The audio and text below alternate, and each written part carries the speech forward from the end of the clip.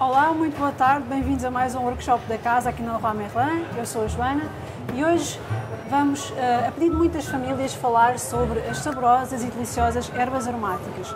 Se não tem nenhuma ou se tem muitas lá em casa e não sabe por onde começar, fica aí desse lado porque hoje é o dia de começar a dominar a matéria. Se não tem um bloquinho e uma caneta, vão buscar depressa porque isto hoje tem muito que se lhe diga. De resto, já sabem, ponham-se à vontade, participem, coloquem as vossas questões, façam comentários, deem só um olá para nós sabermos quem é que está aí desse lado connosco, ok? Prontos? Prontos para receber a nossa convidada? Ela é uma mulher do terreno, é, como ela própria diz, uma mulher de mãos à horta, é super simpática, engenheira agrónoma e chama-se Amélia Paula. Olá Amélia, bem-vinda à nossa varanda, ao nosso varandinho. Uh, hoje temos aqui um, um, grande desafio porque temos quatro floreiras para fazer, muito para, para, conversar, muita coisa para falar, porque eu sei que isto vai correr, como sempre, o tempo passa a voar. Se calhar para começar, vamos já desmistificar ou tranquilizar as pessoas que estão lá em casa a pensar: ah, eu não tenho um jardim, eu nem sequer tenho uma varanda, eu não tenho espaço, eu não posso ter plantas em casa. Isto não é assim, certo? Não, isso é então. é tudo um mito. Okay. Basta querermos e esforçarmos e, como, como a Joana disse, pormos mãos à horta, pormos-nos a trabalhar e okay. fazer um esforço para isso. É assim, as plantas aromáticas em si são quase todas de rua, mas essencialmente o que elas precisam é, no mínimo, de 4 a 5 horas de luz e de água. Ou seja, se tivermos uma cozinha que tem uma janela, janela. com luz, podemos ter ervas aromáticas para utilizar nos nossos temperos na nossa cozinha.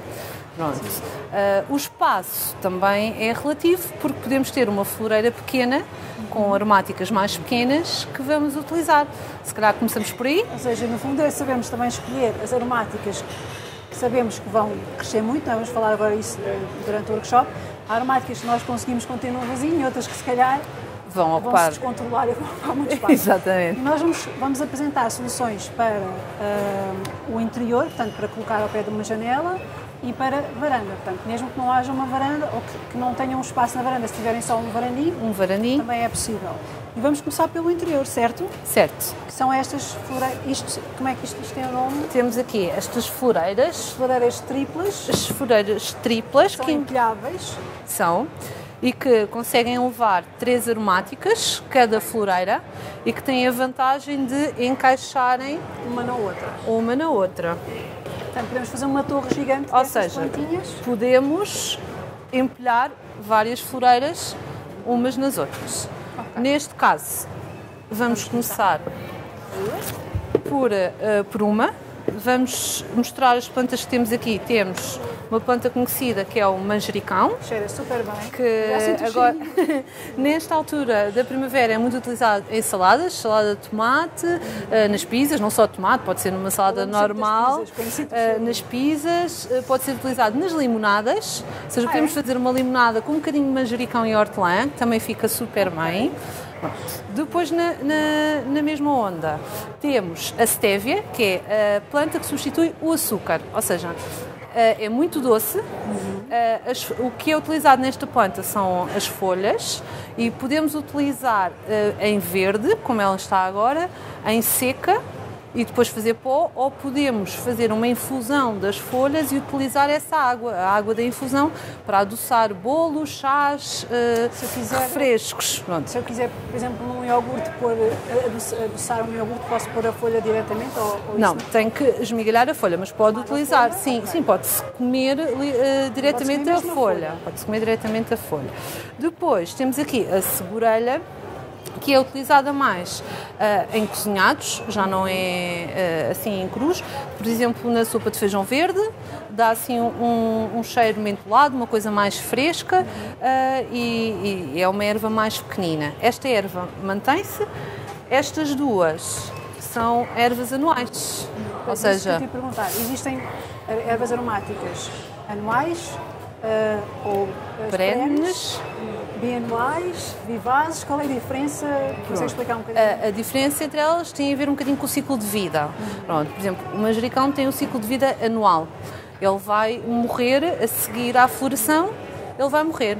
O que é que podemos fazer neste caso para mantermos o manjericão mais tempo? Quando começamos a ver a, a flor que sai daqui de cima, da parte apical, cortar para ele dar mais folhas lateralmente, mas ele vai sempre morrer ao final do ano.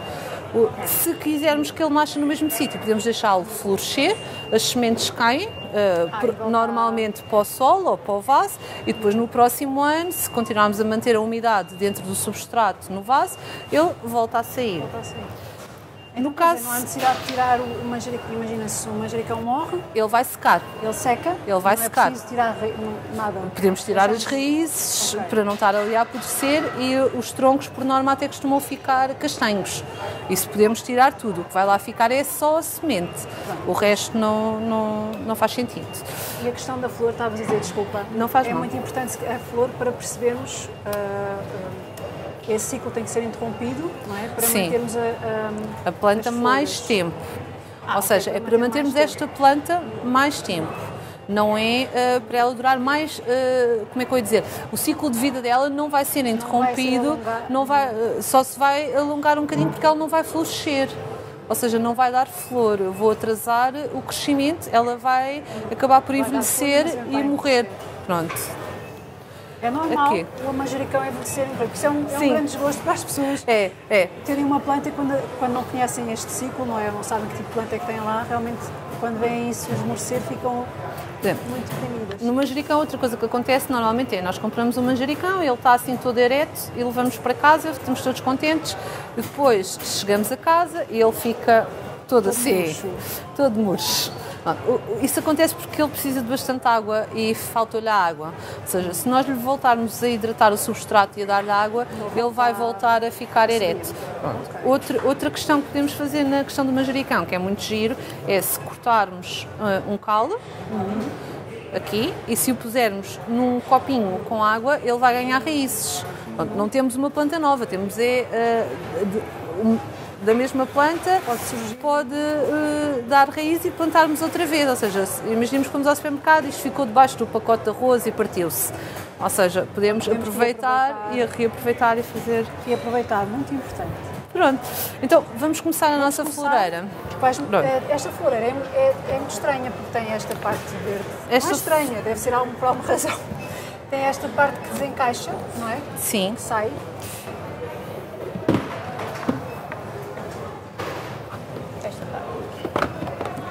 Esta floreira está preparada para o interior e por isso é que uh, escolhemos esta. Ah, e mesmo para porque o sim, porque ela tem aqui dentro, uh, ela é perfurada, conseguem ver. E quando nós regamos a mais, que é um dos principais erros que nós fazemos em casa, porque não temos a circulação do ar, e quando quando cultivamos ou quando fazemos aromáticas em vasos, normalmente escolhemos vasos de plástico e eles não, não têm poros, não, a água fica retida. O que é que acontece? Esta floreira já é perfurada e por ser perfurada uh, permite que a água em excesso da nossa rega fique retida neste e não mancha o chão. Ou seja, fica retida aqui e fica uh, mais protegida. Para além disso, para termos uma boa drenagem, vamos utilizar a argila expandida, o hidroton, que são estas bolinhas. Eu vou já começar. Que é sempre muito importante porque permite, para além de ganharmos na, na drenagem, ou seja, ele vai vai ajudar, ajuda a passar, mas mantém também a umidade, ou seja, imaginemos que vamos, absorve a água, tem uns poros, absorve a água, imaginemos que vamos de fim de semana e que temos um manjericão que é, é uma erva que precisa de muito água, regamos antes de ir e sabemos que pelo menos três dias uh, a própria, o próprio substrato e a própria argila têm água suficiente para ir libertando e ele sobreviver. Vamos utilizar. Espera aí, que só puseste Pus só no, nos buraquinhos. Nós vamos efetivamente contar uma em cada. Em cada, em cada orifício. Em cada um destes orifícios vamos pôr uma. Podia pôr até tapar esta linha toda. Pronto. Mas como eu tenho aqui a segurelha e é uma erva uh, ah, que vai crescer, uh, eu vou depois do manjericão, por exemplo, morrer, eu vou tentar que ela ocupe uhum. o espaço que o manjericão deixa vago. Ok. Ou seja, porque esta mantém-se. vamos, vamos eh, não sei se queres falar já, que é, eh, que é muito importante também, é saber combinar as plantas, porque quando queremos eh, plantar mais do que uma aromática juntas, temos que para já conhecer as necessidades hídricas de cada um, Exatamente. diferentes. Sim. E também é esta questão do que tu estavas a dizer, uma vez que umas são perenes e outras são anuais, para o vaso não ficar feio, digamos assim, ao fim de um tempo. Para não ficar vazio. Uma planta que vai durar mais tempo. Por exemplo, podemos falar disso. Eu tenho aqui esta floreira onde temos um coentro já a espigar, temos dois tomilhos e uma salsa. Pronto. Este coentro, eu- ele está aqui, está a espigar só para eu aproveitar as sementes. Eu quero aproveitar estas sementes. Ah, os tomilhos, ou seja, quando, eu, quando estas sementes ficarem maduras, eu tiro as sementes, tiro esta planta toda e eu- o meu intuito é ficar com esta floreira só com os tomilhos. Ou seja, este tomilho já está grande, este tomilho está agora em flor e eu para o atrasar, ou seja, é uma planta que fica, é uma planta que dura mais do que um ano, é uma planta que tem de ser podada. Pronto. Vamos falar disso mais à frente. Vamos falar disso mais à frente. Mas ele já está em flor. Ou seja, ah, nesta altura eu posso cortar, porque é a altura em que ele tem mais óleos essenciais, ou seja, que liberta mais cheiro, e posso secar em casa. Eu até devia ter cortado um bocadinho antes, porque ele já está mesmo com muita flor, ou seja, já está muito espigado. Ah, e pode ser utilizado na... Isso, espigar, espigar é uma coisa má, não sei o que é que é espigar. Não, não, não. Espigar não é, mau. Porque por esse coentro não parece, eh, não parece um coentro, tem umas folhas muito fininhas. Porque já, eu disse que ele já está espigado, porque aquilo que nós utilizamos no coentro não é nem a flor nem a semente, normalmente, apesar de podermos utilizar a semente eh, em alguns cozinhados, os gregos utilizam muito, eh, mas utilizamos a parte verde, as folhas, como na Sim. sala.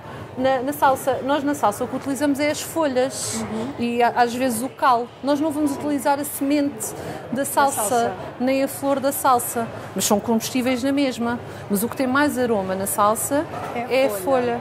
É E a folha e o coentro, cal. as, as sementes também são Comestíveis, é sim, as, as sementes do coentro também são muito aromáticas. Podemos só tirar as sementes e, e pôr no cozinhado ou é temos- Não, podemos tirar as sementes, Assim? normalmente elas, estas ainda estão verdes.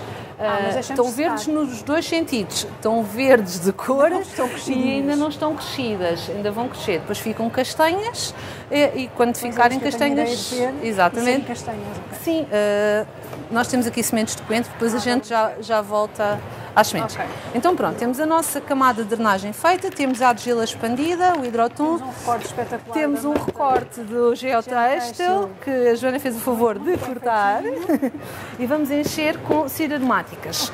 Ah, Porque é cir aromáticas. porque vamos plantar plantas aromáticas. Muito bem. E a Ciro tem substratos desenvolvidos para vários géneros de plantas. Ne- Para quê? Para facilitar em casa o seu próprio cultivo. Não é? Ah, senão não fazer. Tenho aqui também o humus de minhoca e não vou plantar no humus de minhoca. Pronto. Já vamos falar dele mais. Vou Vais plantar no, a cir no aromáticas. Pronto. Vou utilizar o aromáticas porque hoje estamos só a falar de aromáticas. E é um substrato que já tem matéria orgânica na sua composição para o bom desenvolvimento das plantas aromáticas.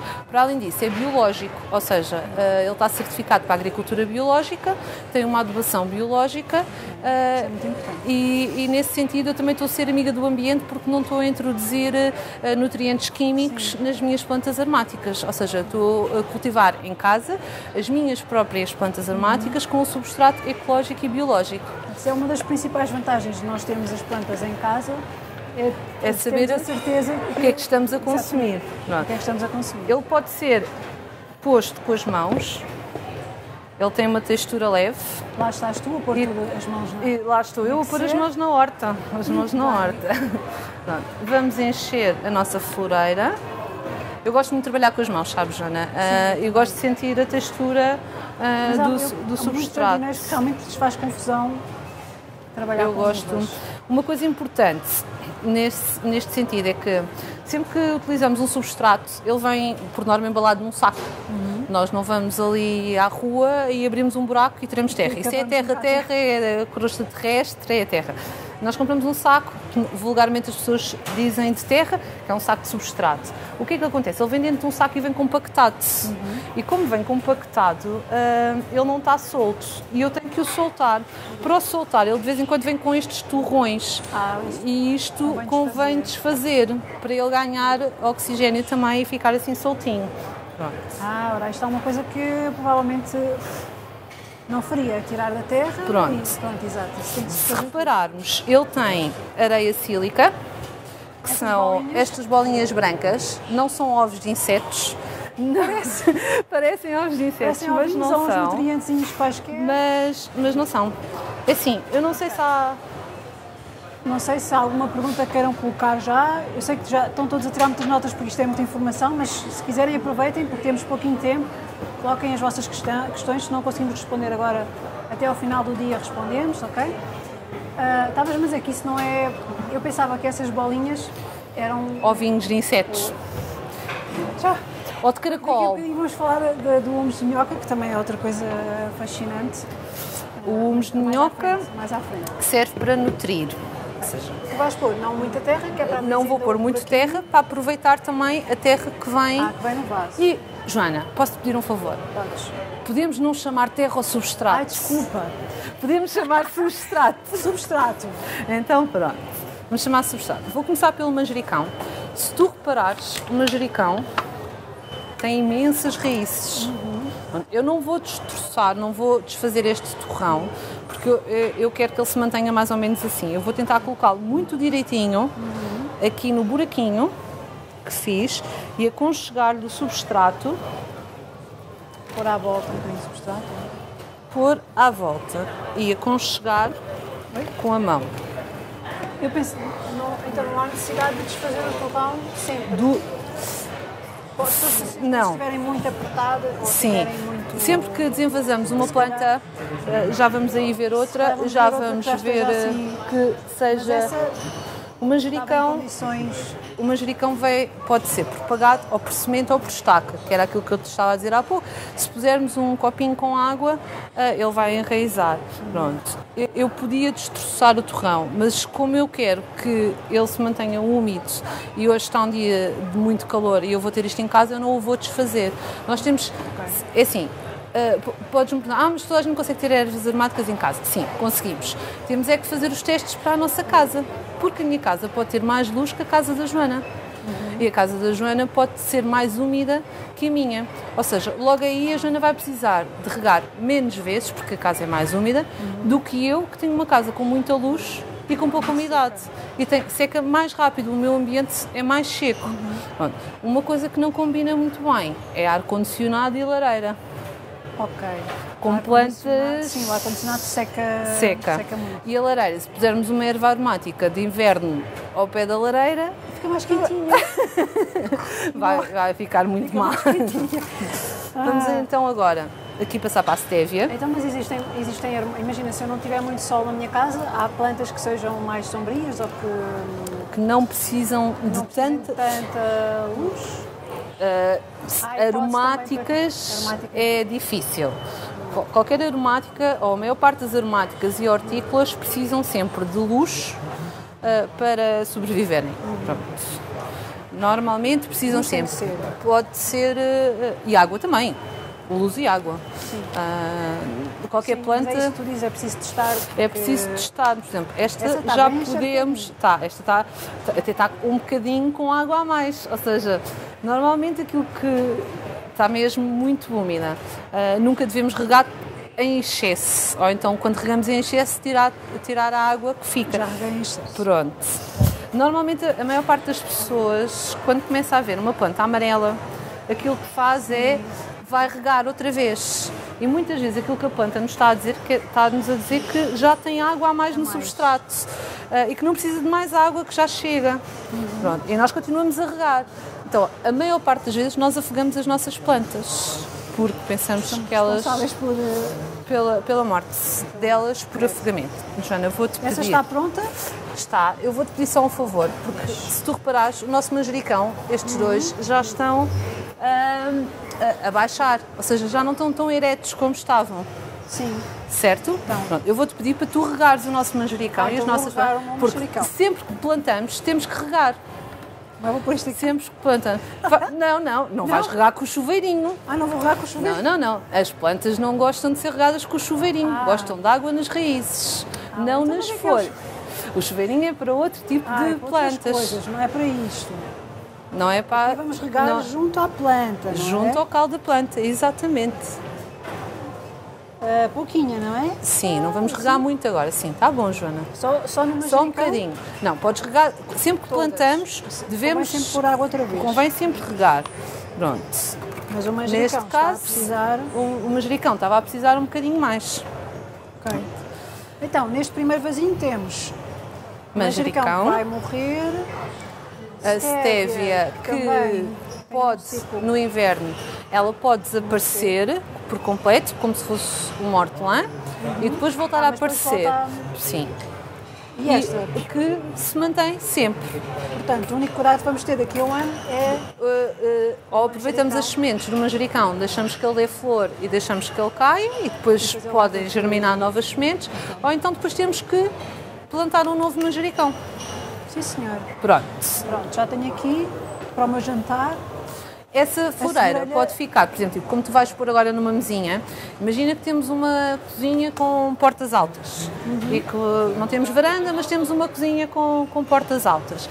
Eh, eh, podemos pôr numa mesinha ao pé da- da- das portas e abrimos. O sol bate diretamente nas nossas plantas, as plantas são arejadas eh, e elas mantêm-se durante muito mais tempo. Boa? Nós podemos, aliás, existem imensas soluções verticais. Sim, eh, tu, tu deixaste-me aqui um kit que não, eu acho que nós não vamos ter tempo para montar. Sim, mas, Mas pronto, mas para- fica aqui um kit eh, de uma, de uma pode ser horta. suspenso também. para- para ser- pode uma ser vertical. e pode podemos ser. Até um vasinho, se formos criativos. Sim, temos, Ah, temos esses imensas vasinhos sugestões. Por exemplo, temos, temos aqui estes pequeninos que dá para pendurar, por exemplo, na, na parede de uma varanda, na parte de fora, uma varanda pequenina, normalmente Sim, tem sempre um, um bocadinho de parede e podemos utilizar eh, para, para ter as nossas ervas aromáticas. Pronto. Não sei se existem perguntas. Se existem perguntas, façam perguntas, aproveitem. Ah, eu vou fazer outra pergunta. Diz-me. Ah, porque fiquei aqui a matutar. A segurelha, tu dizes que é para usar seca, portanto há plantas que Não, usar podes usar verde Ah, também, verde. mas eh, há plantas que dá para secar mais facilmente. Por exemplo, o manjericão seco não, não tem o mesmo aroma. O manjericão em verde é muito melhor do que, do que em seco. Também é preciso saber, é preciso saber muita coisa. Também saber escolher, saber das plantas qual é que funciona melhor verde, qual é que funciona melhor seca. Isso depois também depende um bocadinho dos nossos, do nosso gosto. paladar, do nosso gosto, daquilo, da forma como cozinhamos.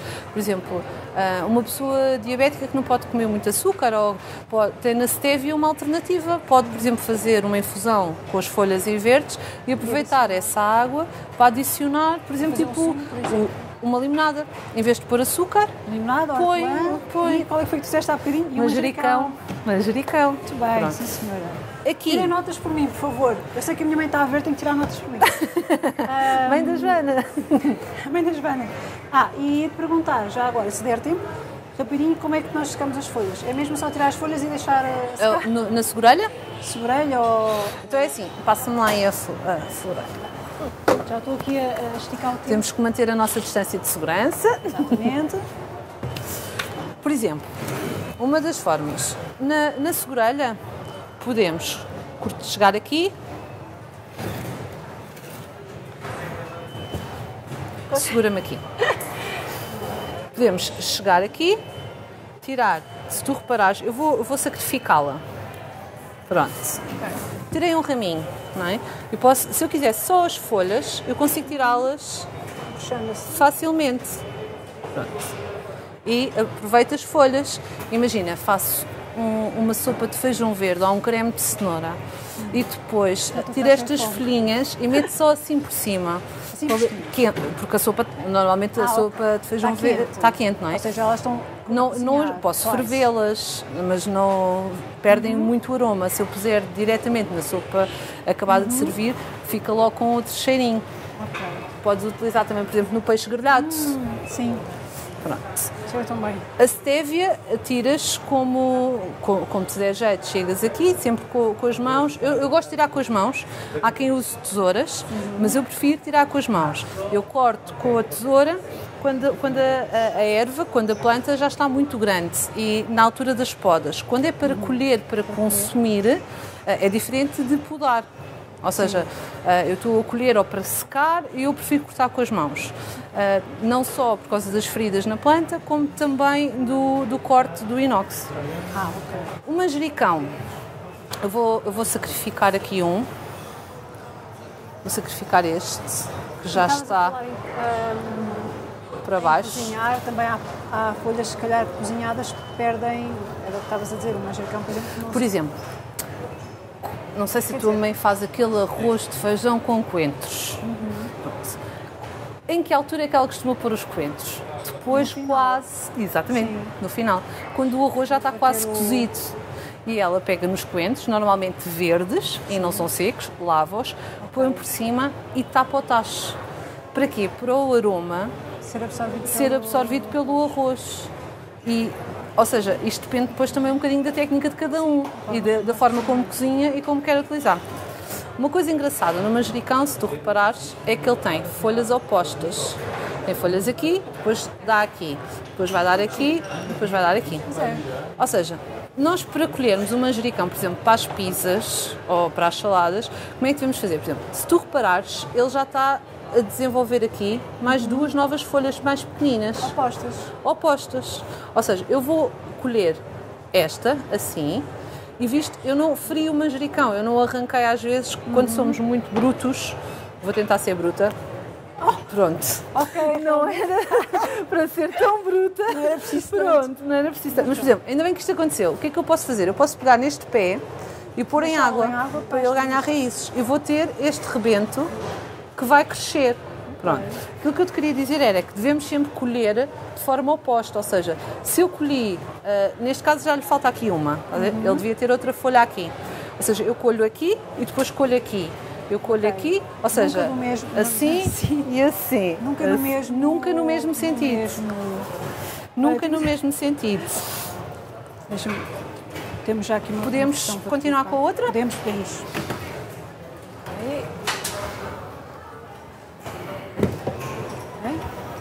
Já pus ali as minhas plantinhas ao sol. Então, temos uma questão. Temos uma questão. Oi? Ah, espera. Ah, eu sou tão naba com estas coisas. Ah, bom, a Célia, a Célia Ramos diz que chuveirinho, sempre me disseram que os regadores têm crivo. Sim, é o chuveirinho, é aquele Ah. crivo. Mas isto não é para. Nós não É assim, isto não- para. isso serve para algum Para tipo de planta. Não, não, não é. É um crivo, pronto, é um crivo. Ah, eu quando disse chuveirinho foi na, foi na brincadeira. Ah, as plantas gostam de ser regadas, ah, não, Não é há- não é para colocar diretamente na Nunca se deve planta. regar também as folhas, não é? É Depende regar- da altura. Regar o caldo da folha, as raízes. Pronto, há plantas que precisam ter umidade nas folhas, mas para isso normalmente utilizamos um borrifador, que até temos aqui um. Pronto, que metemos água e Ah, borrifamos para criar umidade para só. criar umidade. Porquê? Porque umidade em excesso provoca fungos.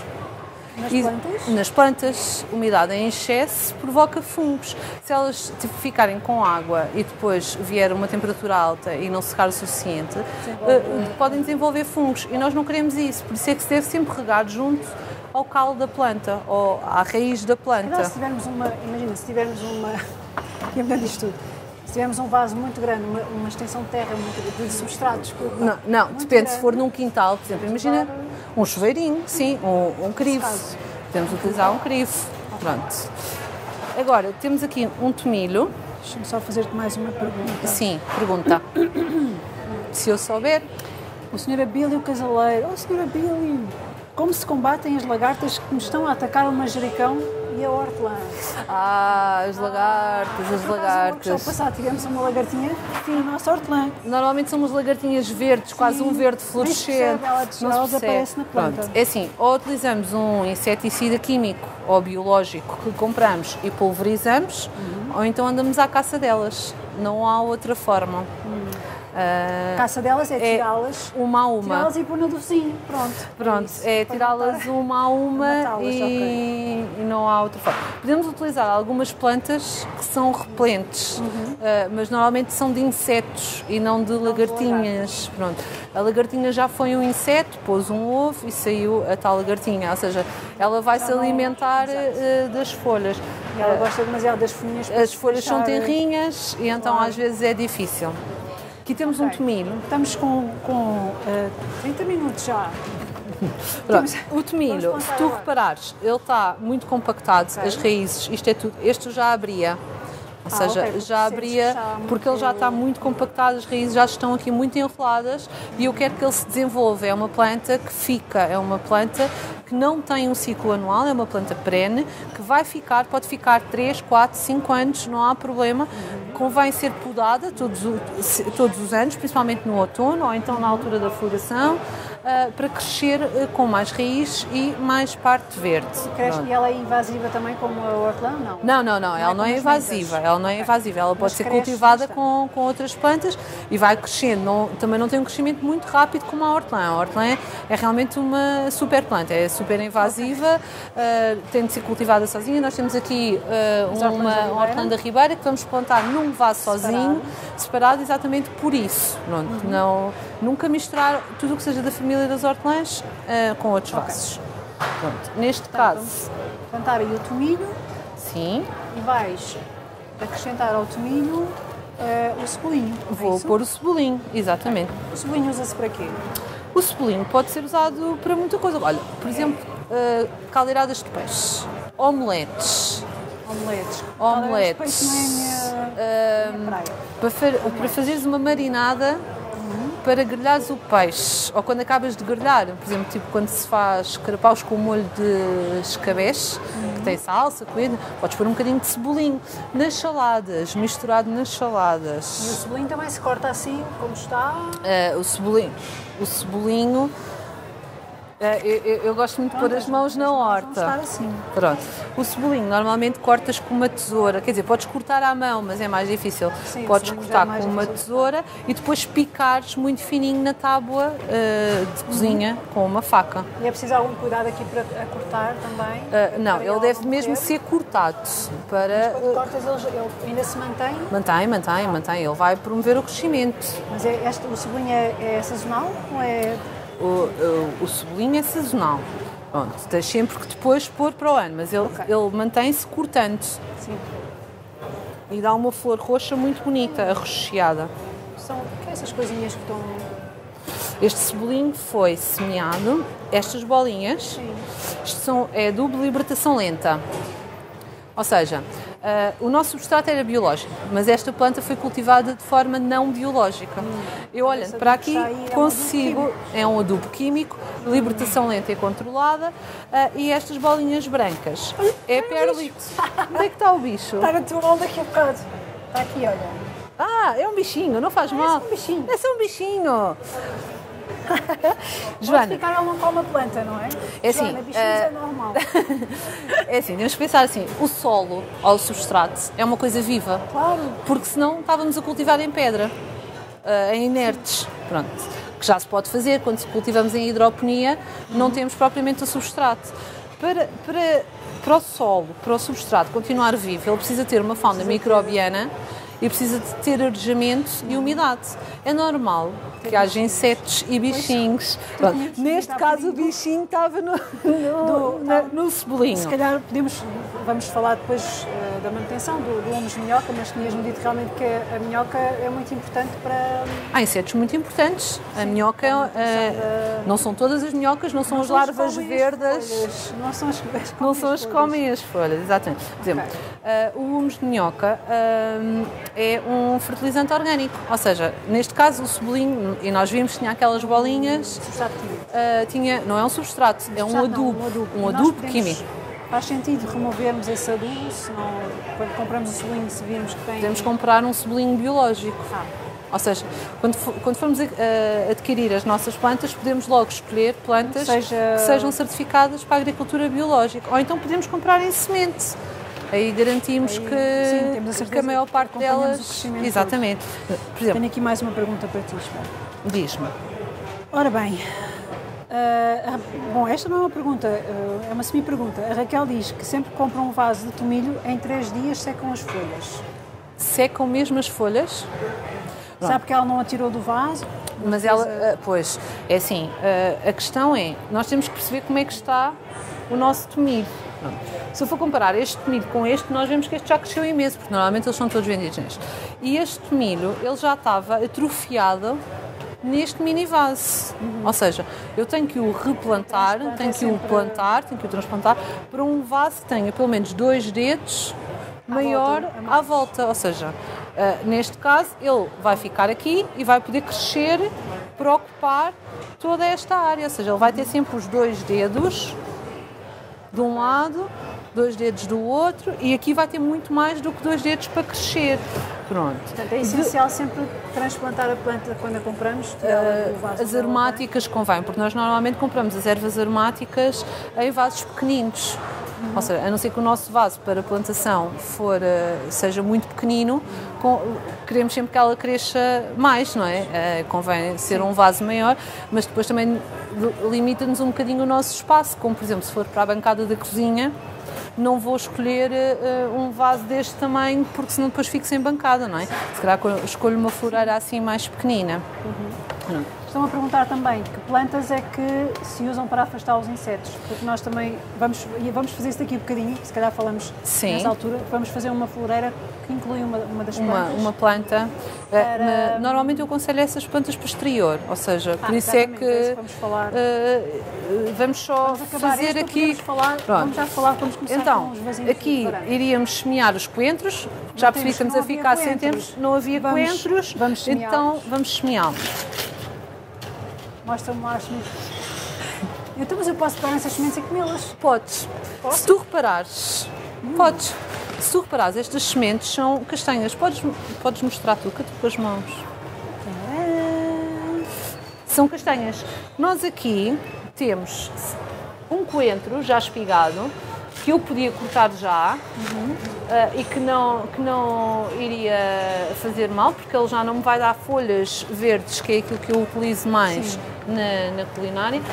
Uh, mas eu estou a deixá-lo ficar por causa das sementes. Ele tem aqui estas sementes. Estas sementes ainda estão verdes duas vezes, ainda não estão maduras. Se repararem, as sementes do coentro normalmente são castanhas e eu depois posso tirá-las. Eu posso usar também as sementes do coentro para fazer alguns cozinhados, como por exemplo o arroz de coentros, fica muito aromático. As sementes em si.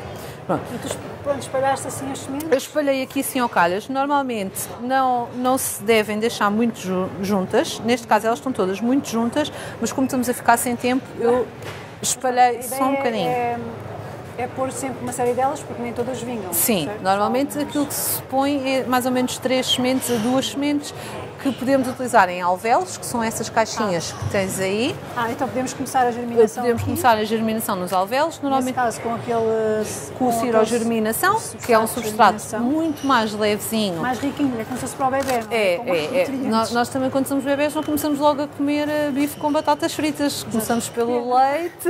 Então, não, não, não, não. Não, começamos pelo leite, nem, nem comemos logo maçãs e kiwis, que se calhar começamos pela pera, depois pela maçã, depois pela manga e depois vamos adicionando outras frutas uh, à criança, não é? Pronto, é a mesma coisa, ou seja, nós devemos começar com um substrato próprio para a germinação.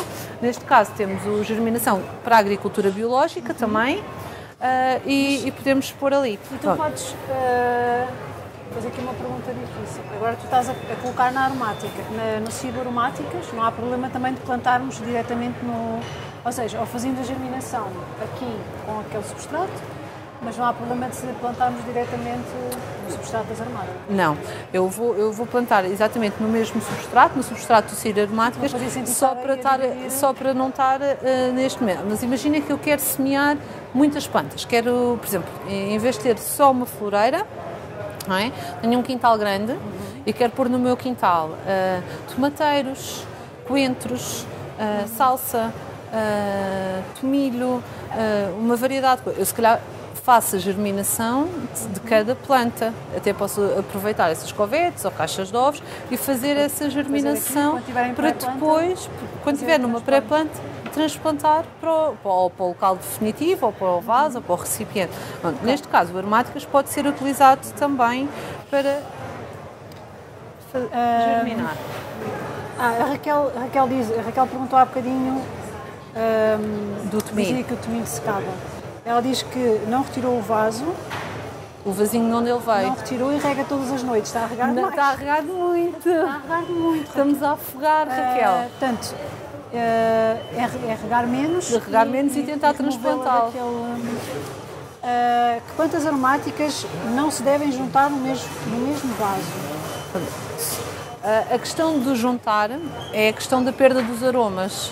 Por exemplo, diz-se muito que a salsa e o coentro não podem estar juntas. Eu, como não gosto muito do sabor intenso do coentro, eu pus juntas na esperança que o meu coentro fique mais fraquinho. Porque isto tem a ver com os aromas das plantas. Pronto.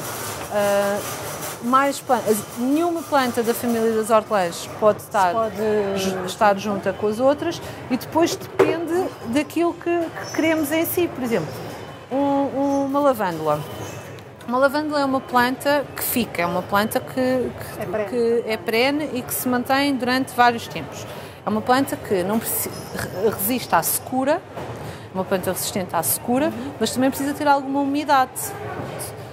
Eu não posso juntar a minha lavândula com o manjericão, porque o manjericão precisa de muita água. Ou seja, eu tenho que perceber um bocadinho como é que estas plantas funcionam. Mas se calhar, se eu a juntar com os rosmarinhos, eu já consigo, porque esta planta também é muito resistente à secura. Ou seja, se eu juntar as duas numa floreira, elas vão crescer as duas muito, porque são plantas que crescem muito. E aí eu depois vou ter que podar, vou ter que trabalhar com a poda. Pronto, é um bocadinho Portanto, por aí. Se, se tivermos que eh, enumerar aqui as, as condições para, para, para esta simbiose que nós fazemos das plantas, seria as necessidades hídricas, eh, o facto de queremos um vaso bonito e umas crescerem mais, ou, ou umas serem sazonais e outras serem perenes, para termos eh, o vaso sempre cheio, e é a questão também de influenciar ou não O os- crescimento. os- o cheiro, o cheiro não, o, O aroma. o aroma, eh, não é? Sim. Estes três fatores, mais alguma coisa que seja importante quando estamos a. Pronto, temos que também pensar na planta em si, ou seja, eu acho que primeiro, É imagina, preciso conhecer bem a, a planta que nós vamos. não, imagina que eu gosto muito de manjericão, eu quero mesmo muito manjericão, Ah, mas ah, vivo num apartamento, numa cave, sem luz direta, com pouca luz. Eu sei que o meu manjericão vai durar menos tempo porque ele precisa de luz. Menos tempo ainda vai durar uma lavândula ou um rosmaninho. Pronto. Ou seja, eu tenho que pensar nas necessidades da planta, primeiro. Depois, que, onde estão as necessidades hídricas e as necessidades de nutrição. Pronto. Depois, no espaço. Ou seja, eu posso ter uma. Se eu comprar uma planta deste tamanho e se eu quiser que ela não cresça, se eu a for podando, não é? Eu vou conseguir mantendo Mantê-la- a parte eh, aérea pequena. Então, e as raízes? Quando elas estão assim, ou seja, esta planta já não está feliz aqui, porque ela já não consegue crescer, ela já cresceu, já enrolou, ela precisa de uma casa nova, ela precisa de ir para um vaso novo, ela já está atrofiada de estar aqui.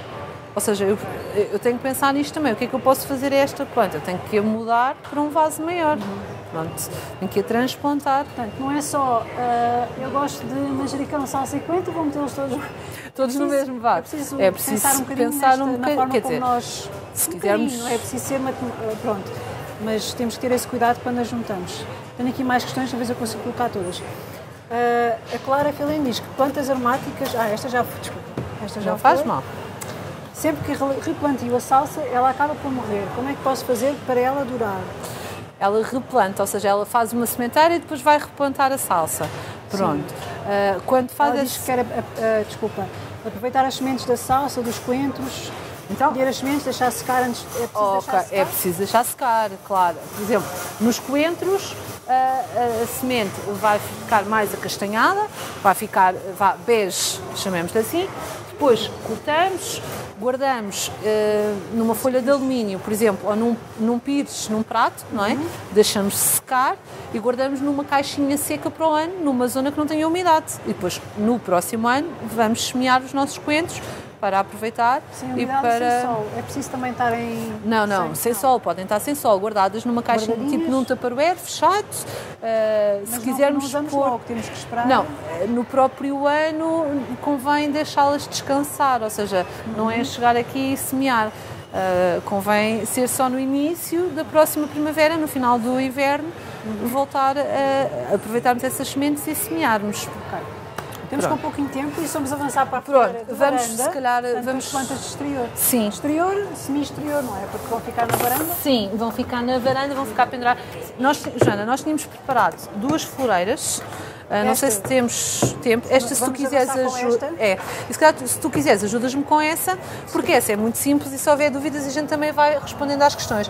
Nesta, Esta tu vais é para... plantar a horta da Ribeira. Ribeira vais pôr, vais pôr duas hortelãs da Ribeira para, para a floreira ficar cheinha logo. E esta planta é uma planta que no inverno vai desaparecer por completo. Cheira limão. Cheira vai desaparecer por completo e no próximo ano ela vai arrebentar, porque é da família das hortelãs. Mas não fazemos nada, deixamos assim? De, deixamos ela estar assim, agora apanhamos, não é? vamos colhendo, já podemos cortar, vamos deixá-la crescer. Okay. Depois há de vir o outono, vai começar as temperaturas, vão começar a baixar. Temos é que começar a trabalhar, Sim, sim, porque temos, não, uh, temos muito pouco temos, tempo. Não temos tempo nenhum, mas vamos fazer a mesma. É? Vamos, for, força. Eu vou pôr aqui. Só para tapar os buraquinhos, não é? Sim. Pronto. Nas hortelãs. Quantas é que vais pôr aí? Eu aqui vou pôr. Ia pôr um pelargónio inseticida, um pelargónio citroderum. Ah, este para, é para afastar os insetos. Para afastar os insetos, exatamente. Quando nós esfregamos as folhas, eles deitam, deitam um aroma cítrico para afastar uh, alguns insetos. Ok. Pronto. Ia pôr um tomilho. Ou seja, nos vasos exterior, no interior não, mas no exterior é importante ter um, uma planta pelo menos que possa, que ajude a afastar os insetos. É assim, podemos pôr, por exemplo, nós temos também uma erva que é parecida com esta, que é a citronela. Esta é a erva príncipe, mas é assim uma erva que também tem assim uns penachos, assim um, mesmo uma erva, que nós normalmente não chamamos a isto ervas, chamamos arbustos, ou, o que é certo é que são todas ervas aromáticas, não é? Pronto. Mas não tem aspecto, não tem aspecto de erva. Pronto. Uh, a citronela tem assim um aspecto também como se fosse uma erva uhum. e uh, afasta as melgas. Aquela, não sei, não sei se já viste umas velas amarelas que ah, há, sim, sim, são mesmo umas velas de citronela, são feitas com o óleo essencial desta planta. planta. Ou seja, uh, podemos utilizar essa planta, uh, por exemplo, para, para uma varanda, uh, esfregar para afastar os insetos quando estamos numa noite luar à ah, conversa. Mas, então é, mas é para afastar os insetos de nós, não, não, tem a ver com, os plantas, com as plantas também. Para afastar, ela também afasta os insetos de algumas plantas. Okay. O objetivo aqui é, é proteger a, a, própria plantação que tu vais, vais selecionar aí, a pôr aí e impedir que ela também ganhe insetos. Sim. Não te preocupes, temos tempo aí. Sim. Pronto. Temos 10 é... minutinhos. Porque ainda queria falar contigo. Bem, eu tinha aqui 50 perguntas, mas já mas queria ainda uh, falar contigo um bocadinho sobre a poda e a, e a colheita. Pronto, Se então calhar... vamos falando um bocadinho. É assim, por exemplo, poda e colheita são coisas diferentes. eu podo no, inverno, no outono, no, quando, quando tem, e pode algumas plantas, não pode todas. E é sempre no outono?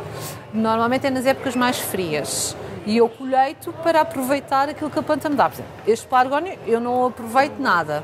Ou seja, eh, é só para... decorativo e para afastar alguns insetos. Ou seja, eu não, vou, não o vou consumir. Uhum. Ou seja, ele vai estar para afastar, mais nada. Falar, hum, tinhas falado do pelargónio, da citronela e há estagetes também? Há uh, estagetes ou cravos túnicos, que são também. Um, também, lá está, eu não, aproveito, eu, aproveito, eu não aproveito a planta, eu aproveito aquilo que a planta Sim. faz. Ou seja, ela liberta aromas que me afastam, insetos. insetos. E, e, são plantas de época, todas essas? São é, é, estagetes, sim, o pelargónio não, é uma planta que fica, dá uma flor cor-de-rosinha, uhum. uh, dá para usar de um ano para o outro. A citronela, lá está, é uma erva, no outono vai ficar mais mais caidinha, uh, na primavera vai ficar mais resplandecente. Pronto.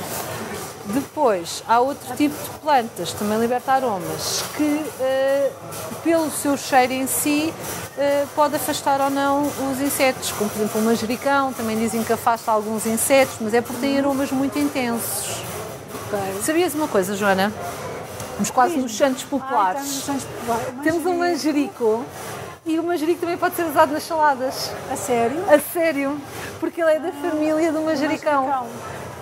Este é o, é o Oncidium minimum uhum. e aquele é o basílio ou o Oncidio um, normal. O sabor é idêntico? É parecido, é? se tu cheirares. Ah, e outra coisa, podemos cheirar o manjerico, não é preciso ser só assim. Não, podemos então cheirar. É um mito, porque não eu é? sei que toda a gente diz, não, Joana, é assim.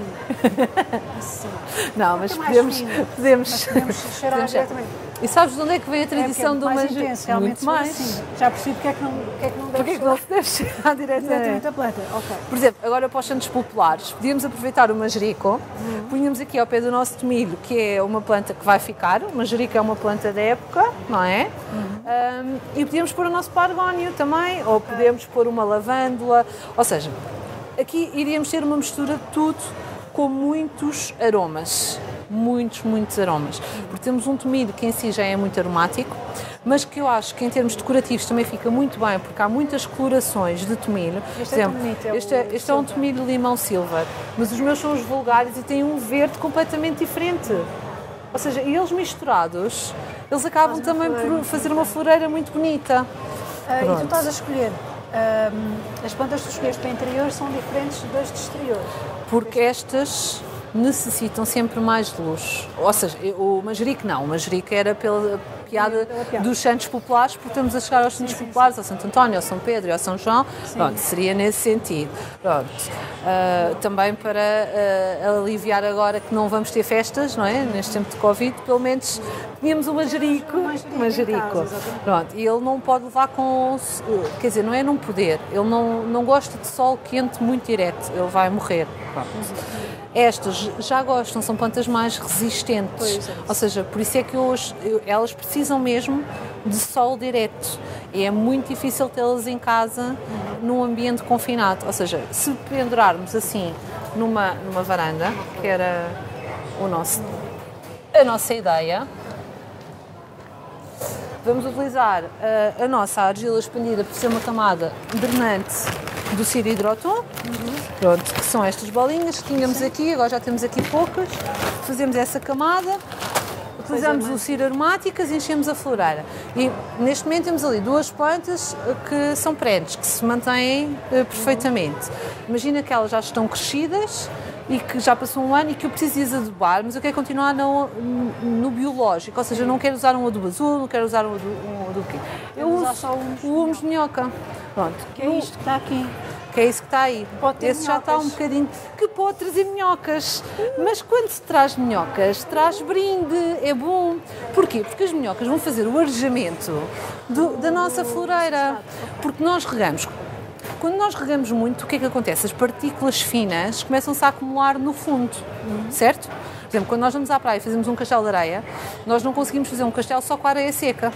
Temos que juntar areia molhada. E quando viramos, se aquilo não tiver a quantidade certa de areia molhada, às vezes quando tem muita água, desfaz. Quando tem só com areia seca, desfaz. E a areia acumula-se no fundo.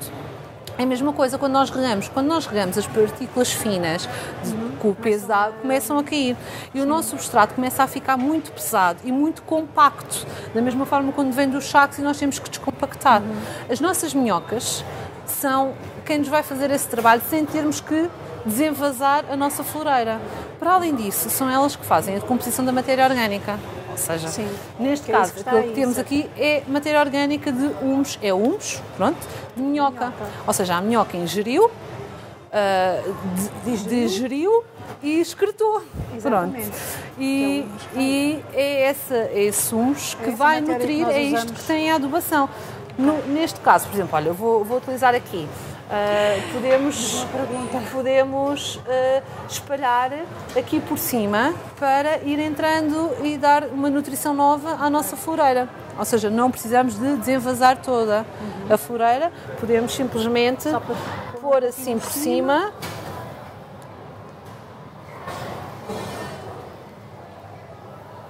Lá está, estes torrões Não que é eu gosto de preciso remover fazer. muito a- Não é preciso remover muito, posso depois fazer assim para ele entrar mais facilmente, não é?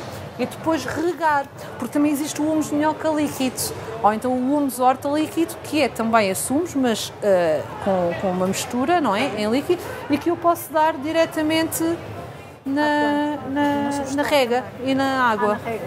Sim, posso água. misturar na rega com a água. Ok. Amélia, vês? Passou a correr. Não, não... Nós estávamos convencidas que, bem, eh, mas conseguimos fazer as duas de interior e faltou a minha hortelã, mas também Ficou-te o hortelã. Fica simples, para a próxima. Pôr a terra e pôr a hortelãzinha que depois vai ficar linda porque vai cair por aqui fora. Exatamente. E depois pomos, podemos pôr também no nosso peitoril, na bem. nossa E varanda. depois iríamos colocar aqui também. E pronto, e tínhamos uma varanda espetacular já lá em casa, cheia de plantinhas para usar. E com plantas para usarmos na nossa cozinha. para usarmos na, na nossa cozinha, exatamente. porque as Ou plantas seja, não conseguimos eh, abordar esse tema, mas também há muitas utilizações eh, medicinais. Sim. eh, enfim, é um mundo, as aromáticas é um É, mundo. Olha, é. Amélia, obrigada por teres Nada. vindo. Foi super divertido, aprendi muita coisa, mesmo assim sei que ainda falta explorar muito. Muito obrigada a todos os que estiverem connosco. As, as perguntas que não foram respondidas, não se preocupem que vamos responder agora no final. Ah, para o próximo sábado vamos ter jardins sustentáveis, portanto venham, aproveitem. E entretanto, espero que comprem pelo menos, pelo menos um manjerico para sentirem o cheirinho dos santos aí em casa, ok? Beijinhos e obrigada, até à próxima!